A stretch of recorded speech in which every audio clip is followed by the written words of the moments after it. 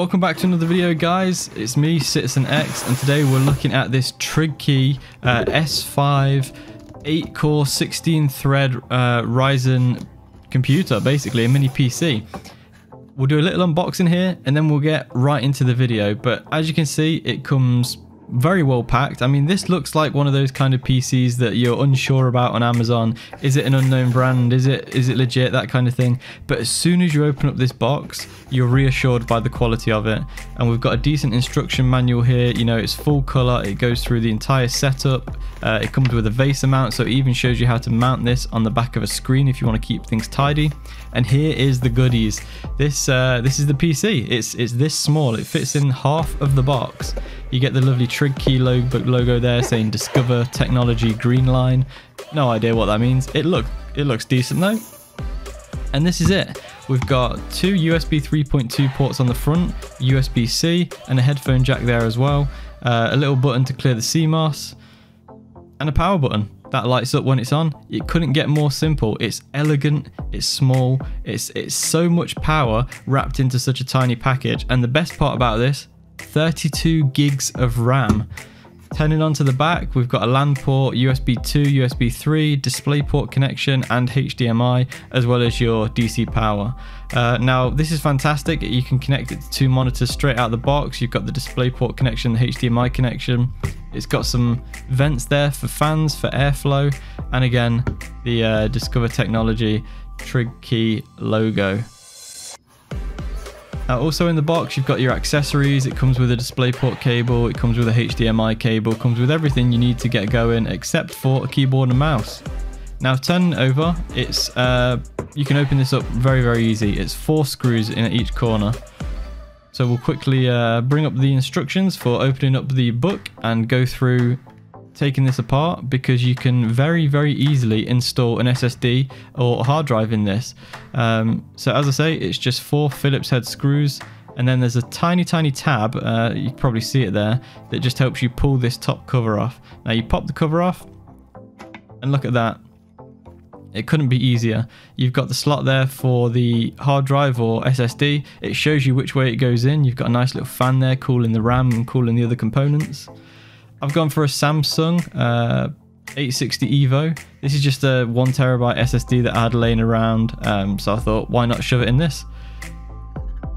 The SSD will only go in one way, just like a hard drive. So it's got a little SATA connector, connector there for data and power. Just push that in, and there we are. it's that simple. It, it all fits together nice and elegantly. And one thing that I do love, you might be able to see it there whilst I put the screws back in, you've got the uh, quick settings buttons on the back. So if you want to get into the BIOS, it says press delete. If you want to get into the boot uh, options, it says F7. And I think that's fantastic it really shows that TrigKey know what people are going to use this system for. They know that people are going to be going into the boot menu and the BIOS because one well, the main reason that I got this is to add it to my home lab. I want to be running servers off this thing. Now it comes with Windows and we'll jump into that in a little bit more in the video. It comes with Windows 11 Pro out of the box. It runs Windows 11 Pro out of the box, so no issues with trusted platform modules or any of that. But I'm going to be installing Proxmox and running Windows Server virtual machines, Pi-holes, Plex, Jellyfin, whatever I want on this thing, and it's more than capable. So let's hop in. Uh, and have a look at what the power draw is, how it does in some benchmarks, and get a home lab installed on this thing. So I'm just going to speed on through the Windows setup process here. Uh, I know it's pretty boring, but I thought I'd show it for having, you know, the sake of it, having it in, in the entire video. When we arrive at the desktop, it's all pretty standard. I checked through a couple of things, make sure the Windows is reporting okay, the RAM's reporting okay, CPU's reporting okay. It all was. And here was the most impressive thing. So sitting on the desktop, it's drawing 6 watts of power, 6.4 watts maximum. Now living in the UK where power is quite expensive, this is one of the killer features of this little box. It's packed with power, but the power draw is small enough that you can leave this thing running 24 hours a day and it's going to cost you about four pounds a month if that. So now before the benchmarking begins i start recording on obs and we can see the power draws at about 34 33 watts um, between 30 and 40 watts let's say And now, bear with me here. Uh, I've fired up the benchmarking program, so the frame rate is going to drop a little bit here because the, the machine is being stressed out to the max. So just, it's not it's not your computer. Bear with me.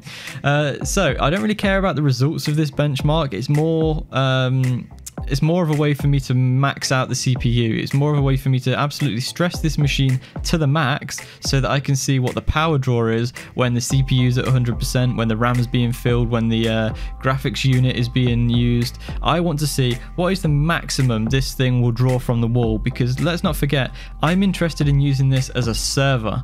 Uh, so I want to know how much power is this thing going to use when it's plugged in 24 7, when it's running high loads, when it's at rest, that kind of thing. So this benchmark is just a way to show that at maximum peak usage, we're looking at 55 watts peak power usage, and that is absolutely phenomenal for the amount of power this thing packs and the amount of power it draws, you're getting so much bang for your buck. This thing is going to run fantastic as a home server, a home lab, anything like that. So I'll take away the choppy frame rate now because I'm sure it's hurting everybody's head. So there we have it, the TrigKey S5 with the 8-core 16-thread Ryzen 7 5700U. It goes up to 4.3 gigahertz. It's got 32 gigs of DDR4 RAM. It comes with a 500 gigabyte NVMe SSD, and you can add an SSD or hard drive to it, as I showed you, simply by popping off the back, putting your SSD in, and screwing it back up. Now I think this thing is going to make an absolutely fantastic home server.